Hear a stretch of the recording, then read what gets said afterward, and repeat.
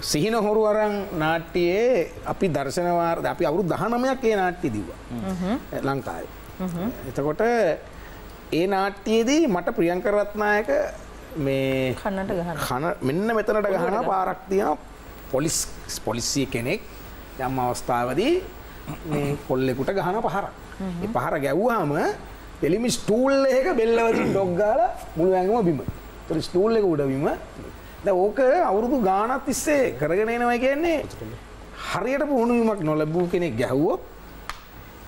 බැට්න නලුවට රඟ ගුටිකාන ලලුවට මේ රඟපාන්න වෙන්න එකසරය ඇත්තං හරියට පුහුණුවක් නොලබුවොත්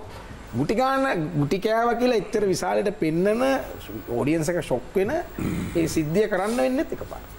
ඒක අවුරුදු ගානක් අප එක දිගර කර අන්න ඕන්න අවබෝධය සහ ඒ ටෙක්නික් ටෙලිනාට්‍යවල්ද එහෙම සමහර වෙලාවට අපි රියසල් එකේ දිහම කරලා අපි රියක්ෂන් එක තේජනම දීලා ඇත්තර ගාන ඉන්න ඉන්න